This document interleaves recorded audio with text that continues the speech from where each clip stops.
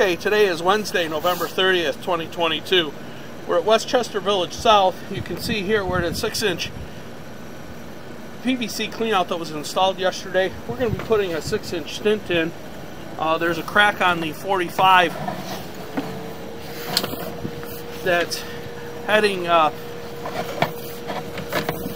down towards the main.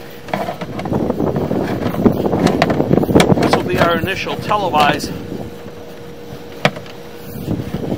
of the line. This does go out into a parking lot. And we did find out that the gas main is a foot and a half in front of uh, this area. So as you can see here, this is the area that we're going to be stenting. Uh, we're going to go ahead and mark our push rod uh, to take our measurement and this will be our initial uh, televise